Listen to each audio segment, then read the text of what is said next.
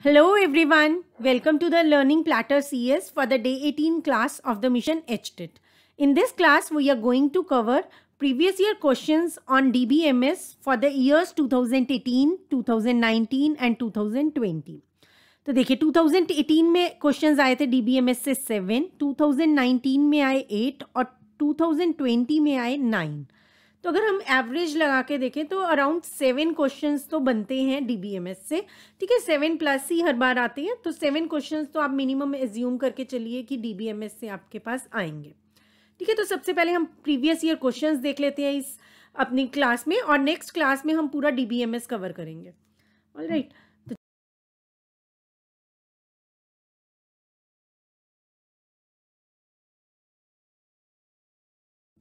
अगर आपने चैनल को अभी तक सब्सक्राइब नहीं किया तो कर लीजिए, ताकि आने वाले वीडियोस के नोटिफिकेशंस आपको टाइमली मिलते रहें।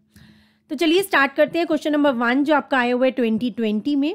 Which SQL query is use to remove a table and all its data from the database and the options are create table alter table drop table and none of this तो देखिए create table create करने के लिए use होता है alter कुछ भी हमने चेंजेस करने और ड्रॉप आपका यूज़ होता है रिमूव करने के लिए टेबल को। So, the correct answer is drop table. Next, we have which database normal form is considered satisfactory for relational database design. कौन सी नॉर्मल फॉर्म को हम सेटिस्फैक्ट्री ट्रीट करते हैं first normal form second normal form third normal form या fourth normal form and the correct answer is third normal form ठीक है third normal form में अगर हमारा कोई भी डेटाबेस होता है तो हम उसे क्या कंसीडर करते हैं कि वो सेटिस्फैक्ट्री है next we have a database management system is collection of interrelated data collection of programs to access data collection of data describing one particular enterprise या all of the three and the correct answer for this is all of the three so database management system collection भी है inter related data का और उसमें programmes भी होते हैं ताकि हम डेटा को एक्सेस कर सकें और ये किसी एक पर्टिकुलर एंटरप्राइज को uh, का डेटा होता है। ठीक है? तो इसलिए ये क्या है? All of the three In database management system, when a transaction completes its execution, it is said to be जब भी किसी भी ट्रांजेक्शन की एग्जीक्यूशन कंप्लीट हो जाती है तो उसे क्या बोलते हैं? सेव्ड रोल्ड लोडेड या कमिटेड तो जब भी ट्रांजेक्शन कंप्लीट हो जाती है उसकी एग्जीक्यूशन कंप्लीट हो जाती है तो हम बोलते हैं committed so the correct answer is committed the outcome of a SQL select statement is select statement जो होती है उसका आउटकम क्या होता है? फ़ाइल टेबल रिपोर्ट या फॉर्म ठीक है तो सिलेक्ट जो स्टेटमेंट है, उसका आउटकम आपका क्या होता है? टेबल होता है। टेबल की फॉर्म में हमें क्या मिलता है? आउटकम मिलता है। ठीक है।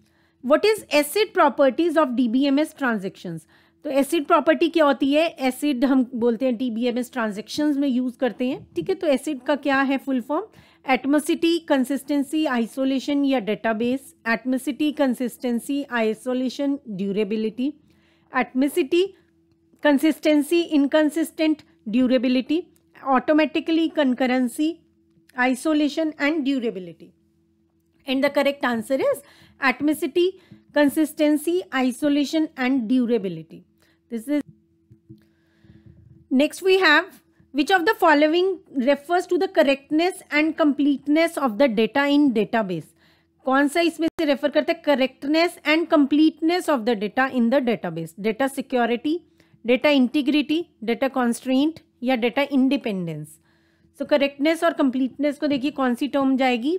सिक्योरिटी नहीं जाएगी कॉन्स्ट्रेंट्स नहीं इंडिपेंडेंस नहीं so the correct answer is data integrity SQL query and modification commands are represented in which of the following SQL की जो क्वेरी और मॉडिफिकेशन कमांड्स हैं, वो किसमें होती हैं? D D L D M L H T M L X M L तो देखिए, यहाँ पे एक्स एम एल और एच टी एम एल तो अलग ही चीज़ें आ गई। सिक्वल से उनका कोई लेना देना नहीं है।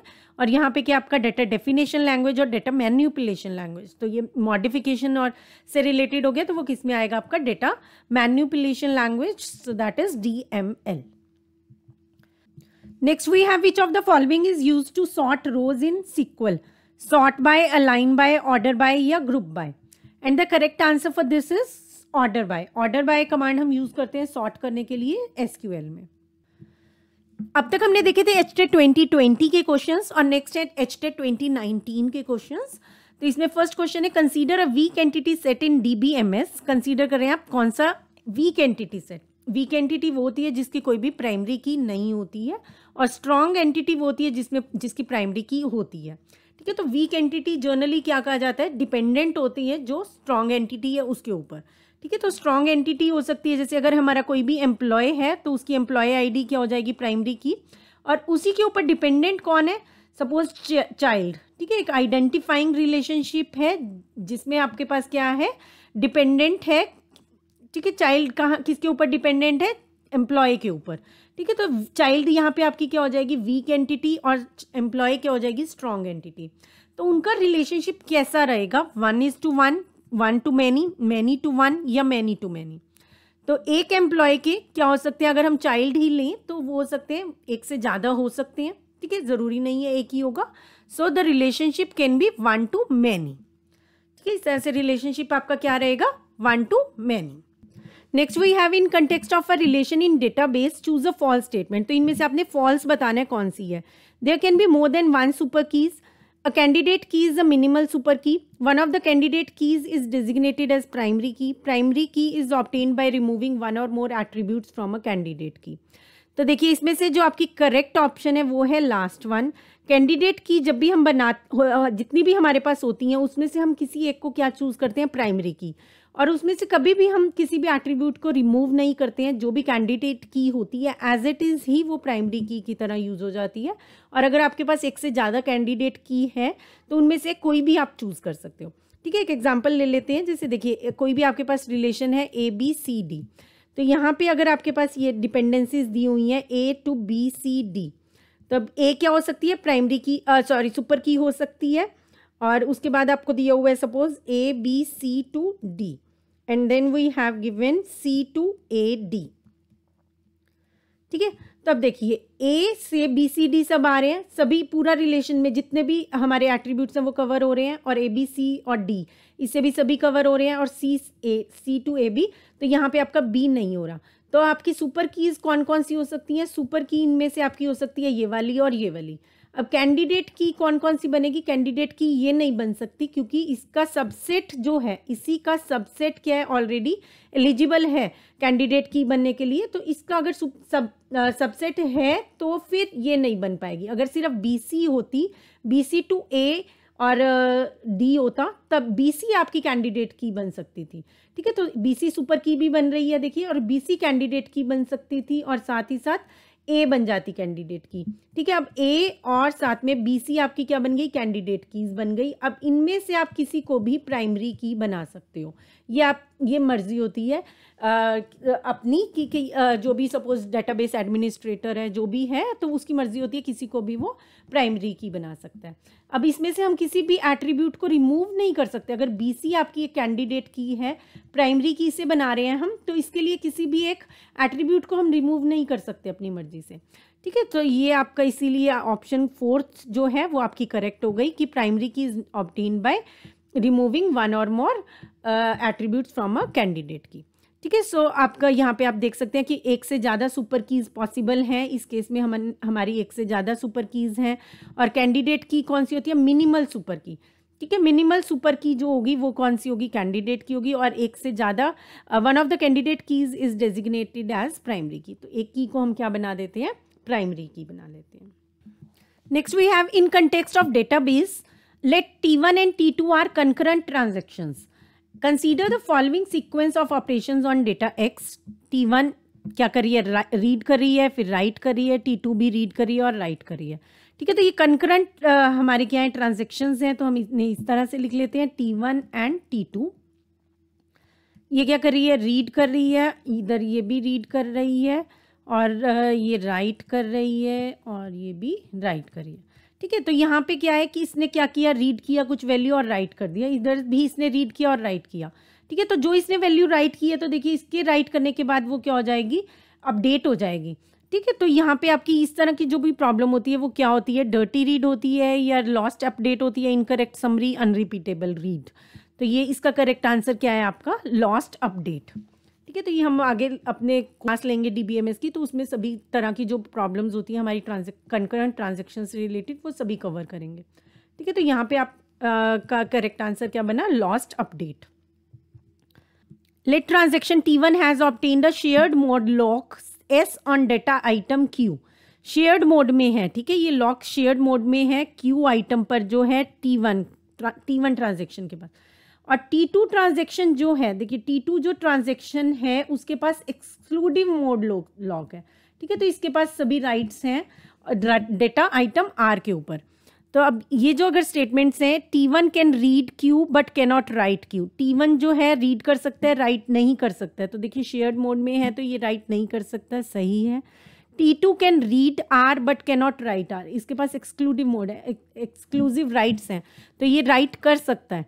ठीक है तो इसमें से कौन सी वैलिड है? Only one two both one and two and neither one not two तो वन जो स्टेटमेंट है वो करेक्ट है. टी वन जो है वो रीड कर सकता है, लेकिन राइट नहीं कर सकता. टी टू रीड भी कर सकता है और राइट भी कर सकता है. Next is SQL command use to modify attribute values of one or more selected type ठीक है तो इनमें से आपकी कौन सी कमांड है? मॉडिफाई अपडेट इंसर्ट या ऑल्टर मॉडिफाई करना है एट्रीब्यूट की वैल्यू को. ठीक है एट्रीब्यूट की वैल्यू को मॉडिफाई करने के लिए कौन सी कमांड यूज़ होती है? अपडेट कमांड कौन सी कमांड यूज़ होती है? Update command next we have consider the following SQL query to retrieve E code of employees from employee table whose address contains India तो यहाँ पे select E code from employee where यहाँ पे अब इसमें से कौन सा आपका सुटेबल है जो कंप्लीट करेगा इस क्वेरी को? देखिए address like dash India dash तो यहाँ पे एक एक ही कैरेक्टर आ सकते हैं। इन्होंने ऐसा कुछ नहीं बोला कि इंडिया के आगे पीछे सिर्फ़ एक एक कैरेक्टर ही होगा, ठीक है? तो वहाँ पे बोला कि कंटेन करना चाहिए। ये चीज़ जो है वो उसमें होनी चाहिए। दैट्स इट ठीक है ना? तो अभी उस, वो वाला की कोड को सेलेक्ट करने हैं हमें। तो address percent India percent address यहाँ पे देखिए, इसी की स्पेलिंग गलत है। एज परसेंट इंडिया उसके बाद वन स्पेस दे दिया वन आइटम के लिए वन कैरेक्टर के लिए then address like percent India percent सबसे पहले तो देखिए, यहाँ पे आपके पास क्या होना चाहिए? लाइक कीवर्ड यूज़ होना चाहिए और साथ के साथ परसेंट यूज़ होता है कि आगे पीछे कितना भी हो सकता है। ठीक है तो परसेंट इंडिया परसेंट ये वाला चलेगा। यहाँ पे भी परसेंट इंडिया परसेंट है, लेकिन एक तो कोट्स में देना ज़रूरी है और लाइक ठीक है, ये सिंटेक्स रहता है तो इसके लिए करेक्ट ऑप्शन आपकी क्या हो जाएगी? Fourth one address like single quotes में percent India percent next we have which of the following set of operation is a valid set of aggregate operation in SQL तो एग्रीगेट जो operations होते हैं, उनके बारे में बताना है हमने, कौन से, कौन सा सेट सभी एग्रीगेट ऑपरेशंस को शो करता है। Count max average sum max average sum select union count min desc and average min max A S C S N ठीक है तो इसमें से आपका जो करेक्ट ऑप्शन है वो क्या है? First one count max average and sum ये आपके सारे के सारे एग्रीगेट ऑपरेशंस जो हैं, उन्हें शो कर रहा है। वैलिड सेट है। In a relational schema R whenever a non functional dependency non trivial functional dependency this holds in relation R where X is super key of relation R then relation R is in BCNF, 2NF, 3NF या four N F तो इस तरह से अगर हमारा hold करता है और जो भी ये एट्रीब्यूट है ये सुपर की है तो वो क्या होता है? बी सी एन एफ़ है। ठीक है बी सी एन एफ़ की हमारी जो पहचान है या डेफिनेशन है वो क्या कहती है कि जो भी इस तरह से एट्रीब्यूट है वो क्या होना चाहिए? सुपर की होना चाहिए। जो भी लेफ़्ट साइड में आपका रिलेशन के एट्रीब्यूट है ठीक है? तो ये क्या होना चाहिए? चाहे ए है, चाहे बी है, चाहे एक्स है तो ये क्या होना चाहिए? अगर सुपर की होना चाहिए, अगर सुपर की है तो ये अगर हमें उल्टा दिया हुआ है कि सुपर की है तो ये किसमें हो जाएगा? Relation B C N F में हो जाएगा। ठीक है तो ये हमारे क्वेश्चंस थे 2019 के। नेक्स्ट है 2018 के questions which of the following operations require two tables as input having at least one common column तो यहाँ पे आपको क्या बताना है कि कौन सी ऐसी इनमें से ऑपरेशन है कौन सा ऑपरेशन है जिनके, जिसके लिए हमें एक कॉमन कॉलम दो टेबल्स में चाहिए ही चाहिए, ठीक है? अगर दो टेबल्स में हमें एक एक ऑपरेशन अप्लाई करना है इनमें से तो कॉमन कॉलम कौन से ऑपरेशन में चाहिए ही चाहिए, ठीक है? तो हमारे पास ऑप्शन है सिलेक्ट, ज्वाइन, प्रोजेक्शन या कार्टेसियन प्रोडक्ट। तो इसके लिए हमारे पास करेक्ट आंसर क्या हो जाएगा? ज्वाइन ज्वाइन के केस में हमें एक कॉमन कॉलम चाहिए रहता है दो टेबल्स के बीच में। Next we have consider the following SQL query select title name select करेगा ये टाइटल और नेम आपको यहाँ पे टाइटल और नेम विजिबल होंगे आउटपुट में। From employee table order by title order किसके थ्रू होगा? टाइटल के थ्रू और नेम डिसेंडिंग नेम किस ऑर्डर में चाहिए इन्हें डिसेंडिंग ऑर्डर में। तो देखिए, अगर यहाँ पे कुछ भी मेंशन नहीं है तो सबसे पहले जो ऑर्डर बाय टाइटल कर रहा है तो ये किस तरह से होंगे? असेंडिंग ऑर्डर में होंगे। बाय डिफ़ॉल्ट कौन सा ऑर्डर रहेगा?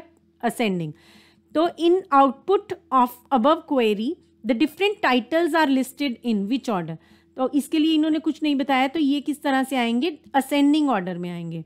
The names of employees having same title are listed in which order अब जो एम्प्लॉयज़ हैं, अगर यहाँ पे एक टाइटल है ठीक है सपोज़ हमारे ऑर्गेनाइजेशंस में या कहीं पे भी क्या होता है डिफरेंट टाइटल्स होते हैं डिफरेंट डेजिग्नेशंस हैं, और उसके, उस डेजिग्नेशन पे हो सकता है नंबर ऑफ़ एम्प्लॉयज़ वर्क करते हो। सपोज़ कॉलेज ही है तो वहाँ पे आपके पास क्या है डिफरेंट असिस्टेंट प्रोफेसर्स हैं एसोसिएट प्रोफेसर्स हैं प्रोफेसर्स हैं। तो हमने टाइटल को तो कैसे किया असेंडिंग ऑर्डर में, और उसके बाद जो नेम्स आएँगे, वो हम किस ऑर्डर में चाहते हैं डिसेंडिंग ऑर्डर में। ठीक है तो ये किस तरह से आएँगे? डिसेंडिंग ऑर्डर में वो हमने यहाँ पे डिफाइन किया हुआ है। तो इसके लिए आपका करेक्ट आंसर क्या हो जाएगा? B that is ascending and descending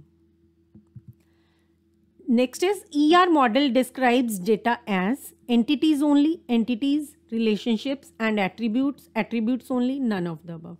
तो तो तीनों ही चीज़ों को एंटिटीज रिलेशनशिप्स और एट्रीब्यूट्स को शो किया जाता है E R model next we have consider a relation are A B C which of the following statement is not true according to the influence rules for functional dependencies कौन सा इनमें से rules rule जो है true नहीं है अगर A if B is functionally dependent on A and C is functionally dependent on B so C is functionally dependent on A so it is correct then we have ab to c and then b a to b after that b to c no this is not correct A A to C so A to B C A to B A C to B C तो हम इस तरह से add भी कर सकते हैं कोई भी एट्रीब्यूट अगर ए से बी डेराइव हो रहा है तो ए सी से बी सी हो सकता है। ए बी ए से बी हो रहा है ए से सी है तो ए टू बी सी भी हो सकता है।